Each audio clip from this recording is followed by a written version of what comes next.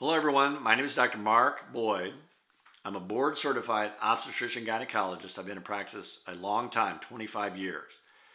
The question of when can I get pregnant, how it relates to my menstrual cycle, how it relates to ovulation is a very, very important question that most women don't feel comfortable answering on their own. If you click the link below, I've addressed this in multiple other videos that will take you to my site. We have a large amount of information as far as getting pregnant and pregnancy care and postpartum care. I encourage you to go to that site. Now, how many days after you have your menstrual cycle can I get pregnant? And the answer is the next day, all the way until the end of that cycle, and you're getting ready to start your next cycle. Now, that's a huge range, but you have to quantify what I mean by those numbers. Now, we're going to have several different scenarios that may exist here. We're going to have a woman that has a 21 day cycle, and we're going to also look at a woman that has a 28 day cycle. And we're going to compare those two women as it relates to when you ovulate after your menstrual cycle. First of all, it's important to identify what a menstrual cycle is. A menstrual cycle is a bleed. That means you did not get pregnant and you're passing the tissue from your previous cycle. First day that you see any blood, that's called day one. You count from that point to your next cycle, that's called your intermenstrual cycle.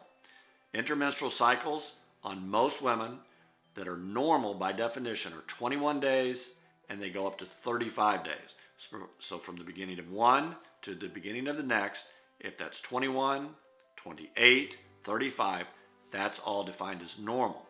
Now, Typically, you follow the same pattern. If your cycles are all over the place 21, 48, 35 typically in that woman, you are not ovulating. And in that scenario, I would encourage you to get with your healthcare provider and decide if you want to have normal cycles, should you be on the birth control pill. So we're going to address the 21 day cycle first.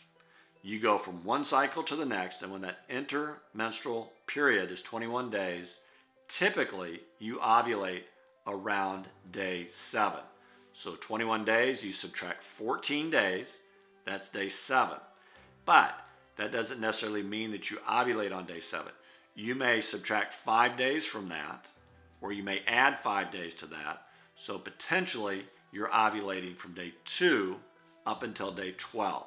So again, if you start your period on a Monday and you're going to ovulate that particular month on day three, that would be Monday, Tuesday, Wednesday, and potentially you can ovulate when you're still doing some bleeding.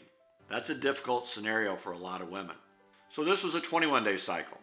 If you click the link below, I have a guide that will give you help on where you are in an ovulatory period from cycle to cycle based on your length. I encourage you to click that below. Let's give the 28 day scenario. In a 28 day cycle, you ovulate around day 14. So you take 28 days, you subtract 14 days, and then your ovulatory period is you need to subtract a week from that, seven days, and add a week to that, seven days. So your ovulatory period would be day seven to day 21.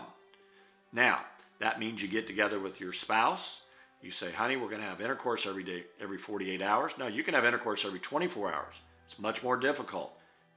It's called performance anxiety for the man. So typically we recommend every 48 hours. That should give a length of time for the sperm and the egg to get together. Sperm's still alive for 48 hours. The egg's alive for 12 to 24 hours. So every 48 hours we'll keep fresh sperm in there to, to potentially identify an egg. So very complicated issue for most women. Very, very important that you keep good records, whether you keep a calendar on a piece of paper, whether you keep a calendar in your phone, if you keep good information and good history, this becomes much easier in whether you're going to ovulate as it relates to your period. Again, I encourage you to go to my guide below, click the link, you'll have a lot more information to help you as a patient. Have a great day.